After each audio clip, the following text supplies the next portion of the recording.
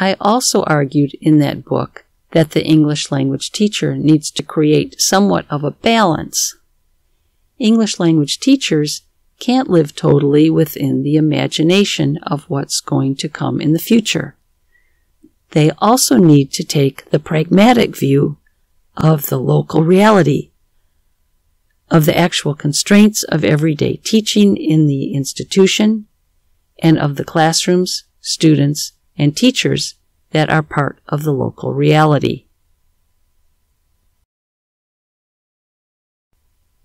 So let's talk about these perspectives a little bit to understand the balance.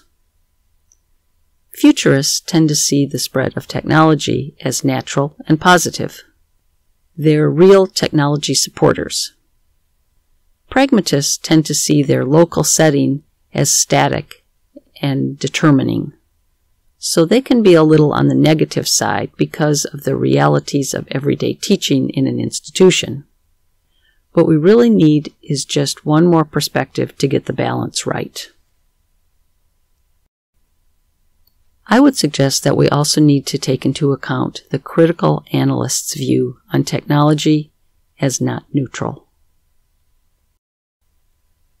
When English teachers take on the role of the critical analyst, they are in the position to question the assumptions that technology is inevitable, positive, and culturally neutral.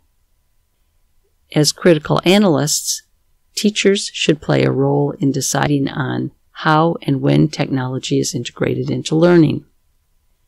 Teachers need to evaluate the quality and value of various technologies for their students' learning of English. And teachers need to help students examine how technology supports cultural connections and the spread of cultural understanding and misunderstanding. This is what I would consider a good balance for developing agency. The futurist vision of things to come, along with the pragmatist view of local reality and the critical analyst view of technology as non neutral.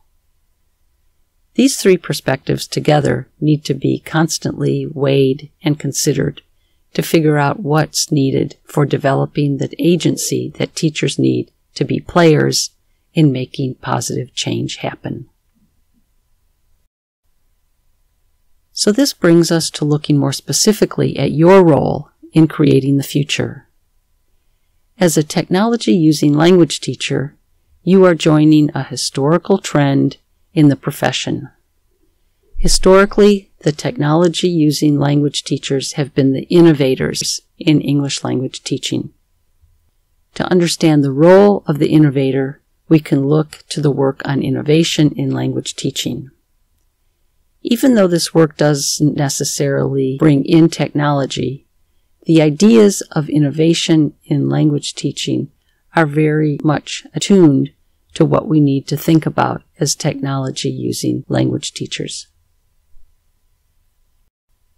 In his book on curricular innovation in English language teaching, Markee defines curricular innovation as a managed process of development whose principal products are teaching and or testing materials, methodological skills, and pedagogical values that are perceived as new by potential adopters.